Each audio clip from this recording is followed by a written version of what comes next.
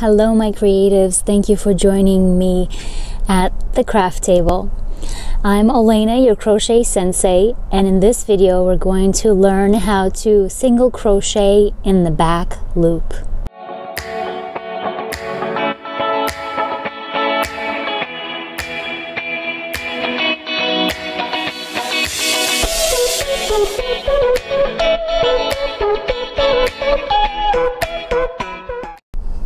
We are going to use a worsted weight yarn and also a size H8 5 millimeter hook.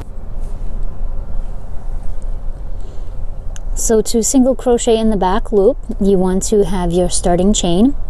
And in this beginner crochet video series. We are making squares. As you can see we have our half double crochet square. There's a video for that.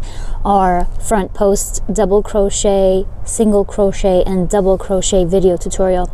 So we're just going to chain and we want the square to be the a similar size to the ones uh, we already started making which is about 30 28 or 30 stitches. So we're going to make 32 so 1 2 3 4 5 6 7 8 9 10 11 12 13 14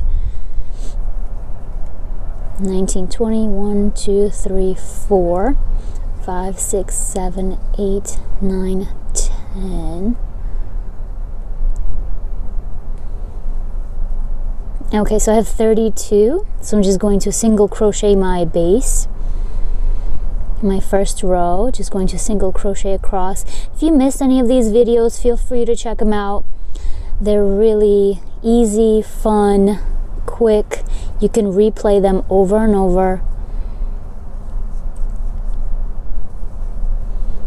So to start any project you just chain however many you need. And uh, look out for my videos on how to measure gauge and create gauge swatches so you get the perfect fit every time when working a sweater or something you want to fit really well.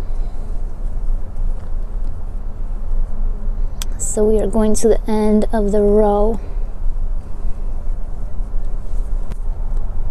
So here we are at the end of our row one, our setup row. So we're going to chain one to finish the row and then turn. Now we have to work our single crochets in the back loop. So if you see this beautiful little braid here and uh, this is what the crochet community would call the front side and this is the back side. So we have two loops on top here and uh, the one closer to you is called the front loop and the one further from you is called the back loop. So to work in the back loop, we're just going to work in this first one, the same one we chained in. I'm going to just put our hook in the back loop only, not through both loops like we're used to doing. Back loop only. Yarn over, pull through, yarn over, pull through both of them.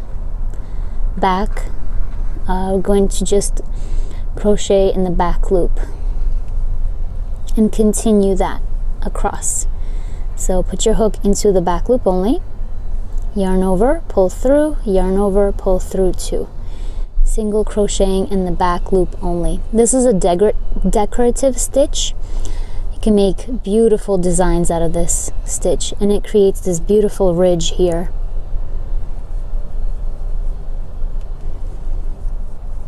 So put your hook into the back loop, yarn over, pull through, yarn over, pull through two. And continue doing this to the end. So here we are. I've worked a few rows of the single crochet in the back loop and this is what the pattern looks like. So you can see these sweet ridges.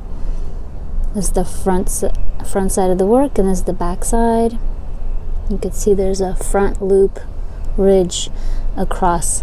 So again, to finish the row, you just chain and since we're working single crochets, you just need to chain one. If you're working double crochets, you would chain two on your turning row and just continue working. So since you're going to make a square, you need to work 30 rows. 30 stitches by 30 rows will give you a square and then uh, check out my tutorials on how to do a single crochet border.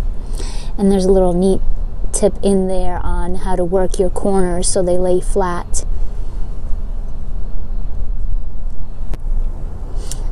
Now here's a question for you. Did you have a hard time working this stitch? Please let me know in the comments and also if you have any other stitches or tutorials you'd like to see please let me know. Thank you for watching. Subscribe to my channel like this video and share with your friends so they too can unleash the creative within